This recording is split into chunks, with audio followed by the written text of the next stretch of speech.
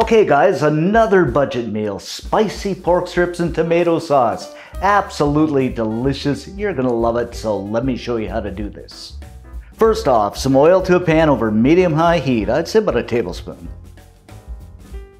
Now what I have here is some pork I've cut up into strips. Got this on sale for about five bucks. So into the pan.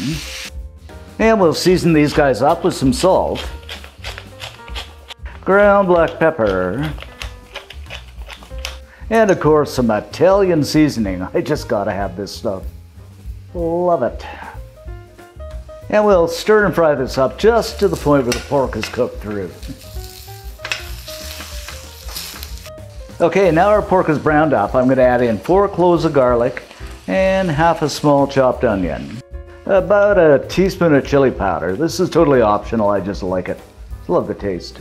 Half a teaspoon, or so depending on how hot you want it, of hot pepper flakes, and a little bit more ground pepper.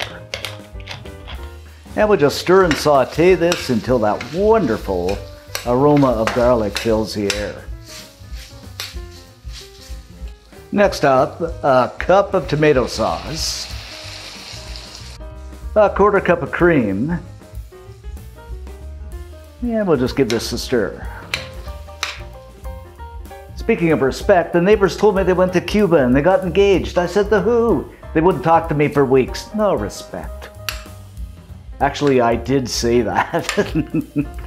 and let me know at the end of the video or in the comments section who I'm trying to do an impersonation of here.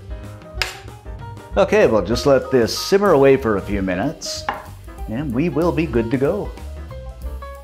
After simmering for about five minutes, there you have it guys, another wonderfully delicious budget meal in about 20 minutes.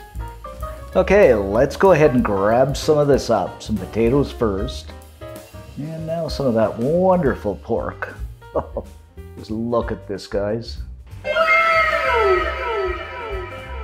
Okay, let's go ahead and grab some of this up. Some potatoes first, and now some of that wonderful pork.